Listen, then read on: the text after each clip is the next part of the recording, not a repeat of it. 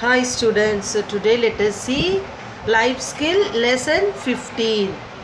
The Brooklyn Bridge. The Brooklyn Bridge. Failure will never overtake me if my determination to succeed is strong enough. Said by O.G. Mandino.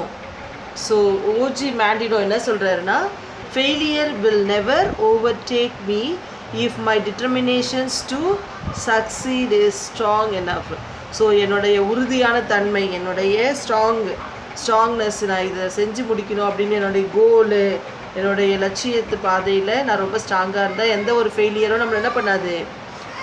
இவ்வளோதான் நம்மளால் முடியாது அப்படிங்கிற ஒரு இதுவை கொடுக்காம நமக்கு ஒரு ஸ்ட்ராங்கை அதிகரிக்குமே வழியே நமக்கு ஃபெயிலியர் வந்து ஒரு தடையாக இருக்காது அப்படி சொல்லிட்டு ஓஜி மேண்டினோ சொல்கிறார் The Brooklyn Bridge, built between 1869 and 1883, is a landmark of New York City.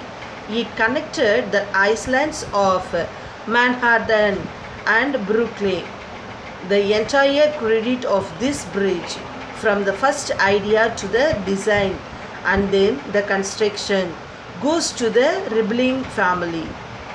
The circumstances under which this bridge came to be constructed is a very story of undaunted grit running through two generations of Ribbling family இப்போ Roebling family இருக்காங்க இல்லையா? அவங்க தான் இந்த bridge வந்து actually eighteen sixty nine to eighteen sixty three அந்த கேப்பில் தான் கட்டியிருக்காங்க. எவ்வளோ வருஷம்? கிட்டத்தட்ட இருபது இருபத்தஞ்சி வருஷமாக இதை என்ன பண்ணியிருக்காங்க?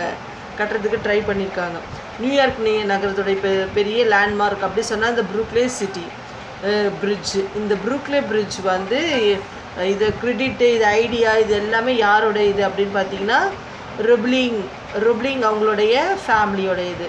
அவங்க ஃபேமிலி தான் இதை முன்னெடுத்து இது இந்த எவ்வளோ பெரிய கஷ்டமான சூழ்நிலையிலையும் இதை முடிச்சே ஆகணும் அப்படிங்கிற ஒரு தைரியமான மனசோட இதை ஸ்டார்ட் பண்ணாங்க. கிட்டத்தட்ட ரெண்டு ஜென்ரேஷன்ஸ் இதுக்காக ஒர்க் பண்ணியிருக்காங்க அப்படின்னு சொல்கிறாங்க John A. Ribbling, a German immigrated to America, was once on a ferry across the East River. The weather was extremely cold. Midway, the ferry got stuck in ice. It was then that he thought of the bridge. Being an engineering, he first made a sketch of the bridge. Then he looked into building materials that could be used. Till then, bridges were made only using iron. He started to manufacturing steel wires, ropes for the first time. Then ropes were to be used in the constructions of the bridge. So என்னென்னா John Roebling இருக்கார் இல்லையா அவர் வந்து ஜெர்மன்லேருந்து அமெரிக்காவுக்கு மே migrate ஆகி அங்கே போய் என்ன பண்ணுறாரு ஈஸ்ட் ரிவரில் இருக்கிற அந்த இது மேலே பாலத்து ஒரு பாலம் கட்டணும். இந்த வழியாக மக்கள் வந்து கடந்து போகிறதுக்கு ஈஸியாக இருக்கும்னு சொல்லிட்டு அது அது அது மட்டும் இல்லாமல் அப்போ வந்து அந்த வெதரும் ரொம்ப எக்ஸ்ட்ரீம் கோல்டாக இருக்கும்போது என்ன ஆகிடும் அந்த ரோடு அந்த ரிவரே அப்படியே ஐஸாக மாறிடும். ஸோ அந்த டைமில் மக்களால் அங்கே ட்ராவல் பண்ண முடியாத ஒரு சூழ்நிலை இருந்துச்சு. ஸோ ஆஸ் எ இன்ஜினியர் இவர் ஒரு இன்ஜினியராக இருக்கிறதால இவர் என்ன நினச்சாருன்னா இங்கே ஒரு பிரிட்ஜு கட்டலாம் அப்படின்னு சொல்லிட்டு அவர் ஸ்கெட்ச் பண்ணி ஒரு பிரிட்ஜு கட்டுறதுக்கு ஐடியா பண்ணுறாரு அந்த அது வந்து ஒரு டிஃப்ரெண்ட்டாக இருக்கிறதுக்காக அதில் அயனு ரோப்ஸ் அதெல்லாம் யூஸ் பண்ணியிருப்பார். இந்த கன்ஸ்ட்ரக்ஷனுக்காக இந்த பிரிட்ஜு அப்படி கன்ஸ்ட்ரக்ஷனுக்காக அவர் நிறைய அயன் ரோப்ஸ் இல்லை. ஃபஸ்ட் டைமு அந்த மாதிரி ஒயர் ரோப்ஸ் யூஸ் பண்ணி அவர் ஒரு ஸ்டீல்லையே ஒரு பிரிட்ஜு செய்கிறாரு செய்யறதுக்கு ஐடியா பண்ணுறாரு However, when John Roebling first motored the idea of the suspensions bridge across the East River, people questioned its need. His contemporaries thought he had lost his mind and his friends discouraged him. But he did not let go of his vision. He knew it was possible and he was determined. He thought of uh, sharing his ideas with his son Washington Ribbling, who was also an engineer. He pursued Washington and they began to work on the bridge. They put together on paper their ideas and concept and developed methods by which they intended to proce- process once the paperwork was done. So என்னாச்சுன்னா ரெ- John ரெப்ளிங் வந்து இதை சொல்லும்போது மக்கள் எல்லாரும் வந்து discourage பண்ணுறாங்க அவரோட ஃப்ரெண்ட்ஸ் எல்லாம் இது தேவையா? இந்த ரிவர் நடுவில் ஸ்டீலில் வச்சு பண்ணுறது இது வந்து ஒரு ஒரு நல்ல ஐடியாவே கிடையாது. நீ ஏன் இந்த மாதிரி யோசிக்கிற? அப்படிங்கிற மாதிரி அவர் என்ன பண்ணுறாங்க டிஸ்கரேஜ் பண்ணுறாங்க இதெல்லாம் பாசிபிள் இல்லைன்னு. ஆனால் அவருக்கு தெரியும். ரிபிளிங் யோசித்தார் அவர் என்ன பண்ணார்? இல்லை இது பாசிபிள் தான். என்னுடைய லட்சியத்தை நான் அடைஞ்சே தீர்வேன் அப்படின்னு ரொம்ப தீர்மானமாக இருந்தார். அது மட்டும் இல்லாமல் அவங்களுடைய பையன் வாஷிங்டன் ரிப்ளிங் இருக்கா இல்லையா? இப்போ ரிபிளிங் என்ன பண்ணுறாரு அவருடைய ஐடியாலாம் ஷேர் பண்ணி நம்ம கண்டிப்பாக இதை பண்ணணும். இதை வந்து தைரியமாக எடுத்து செஞ்சு இந்த ஒர்க்கை முடிக்கணும் அப்படி சொல்லிட்டு இவங்க பேப்பர்ஸ் ஐடியாஸு அந்த ஸ்கெட்செல்லாம் பண்ணி ப்ளூ பிரிண்ட்லாம் எடுத்து பேப்பர் ஒர்க்லாம் ரெடி பண்ணி வச்சுருக்காங்க. எப்படியாவது இந்த ஒர்க்கை பண்ணி இந்த இதை க இந்த பிரிட்ஜ் செய்யும் செஞ்சு காட்டணும் அப்படி சொல்லிட்டு அவங்க ரொம்ப தீர்மானமாக இருக்கிறாங்க. They hired the crew for going hurt with work on the ground Work began in full swing, and barely a few months I had got past when a tragedy occurred. John Ribling's foot was crossed, crushed on the construction site. The wounded got worse, and within a month of the, an accident, John Ribling died. Now it was all upon Washington to carry the work ahead. Washington bravely carried on with the work as he and his father had planned together. However, as a result of working on the pillars of the bridge, he suffered from the Kaizensen's disease. Because of this disease, he was unable to move or even talk properly. People were not even more convinced that an attempt to build the bridge was an impractical and foolish idea.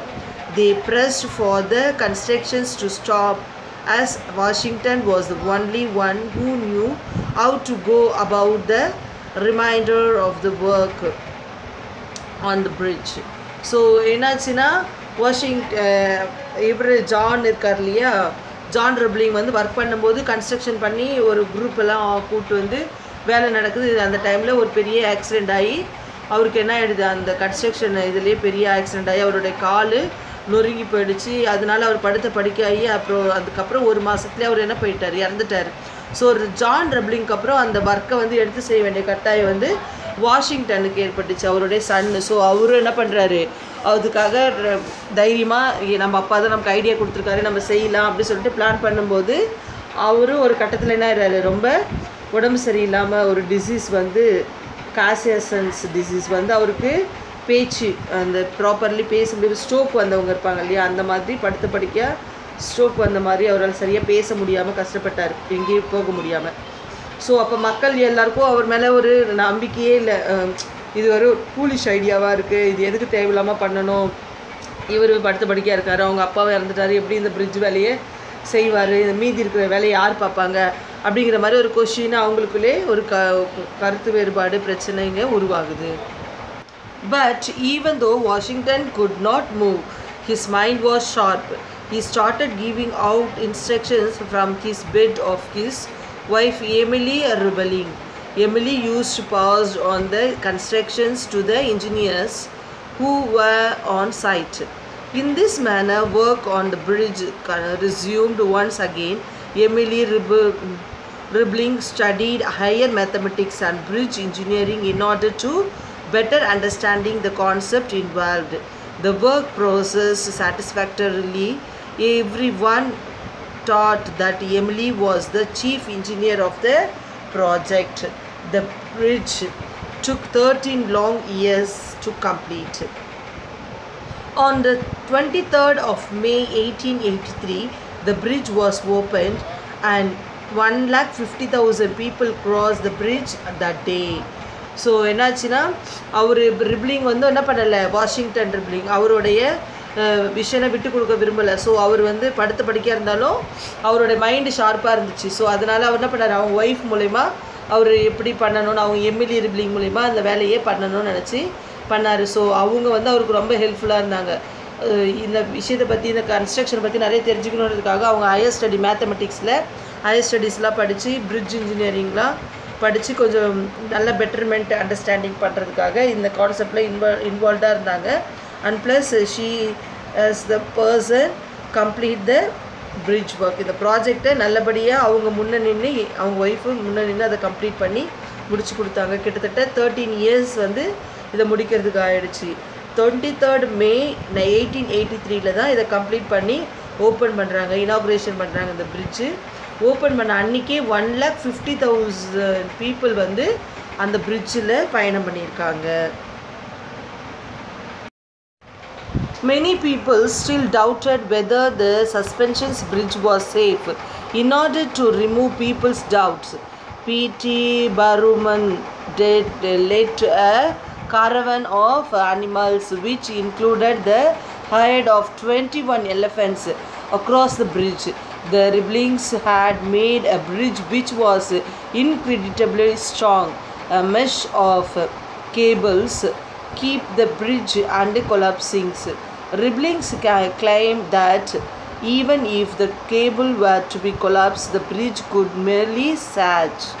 In in the year 1964, the Brooklyn Bridge was officially declared a national monom- monument.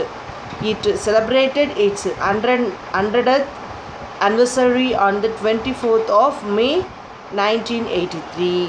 So என்ன சொல்கிறாங்கன்னா பீப்புளாக டவுட்டாகவே இருந்தாங்க அந்த bridge கட்டியிருந்தாலும் இவ்வளோ பேர் பயணம் செஞ்சாலும் so அதனால் பிடி பேரனும் அப்படிங்கிறவர் என்ன பண்ணார் காரவன் அனிமல்ஸ் அதாவது டுவெண்ட்டி ஒன் எலிஃபெண்ட்ஸு கிட்டத்தட்ட ஒரு டன் கணக்காக இருக்கிற வெயிட் இருக்கிற எலம எலிஃபெண்ட் எல்லாத்தையும் ஒன்றா அதில் நடக்க வச்சார் ஆனால் அந்த பிரிட்ஜுக்கு எந்த ஒரு சேதமும் ஆகல. அது ரொம்ப ஸ்ட்ராங்காகவே இருந்துச்சு.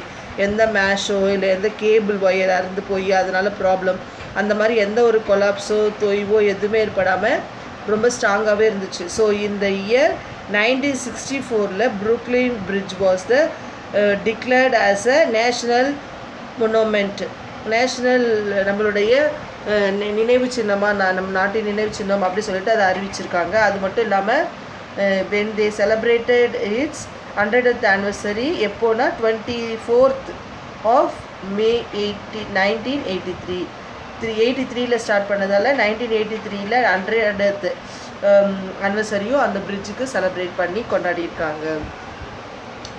ஸோ விடாமுயற்சியாக நம்ம செயல்பட்டால் நமக்கு வெற்றி கிடைக்குங்கிறது இந்த லெசன் ஒரு பாடம்.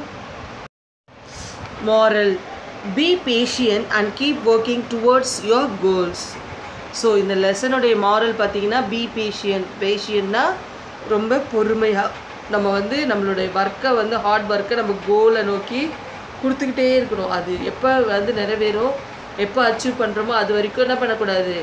எந்த ஒரு ஃபெயிலியர்ஸோ இல்லை டிஸ்கரேஜ்மெண்ட்டையோ பார்த்து நம்ம தயங்கிடக்கூடாது. நம்ம we have to run go on go on we have to practice and achieve our goal we should not discourage our self so நம்ம டிஸ்கரேஜ் ஆகாமல் நம்ம வந்து பொறுமையாக நம்மளுடைய கோலை அச்சீவ் பண்ணுறதுக்காக உழைத்து கொண்டே இருக்கணும் so students I have complete the lesson here study well and understand the lesson thank you children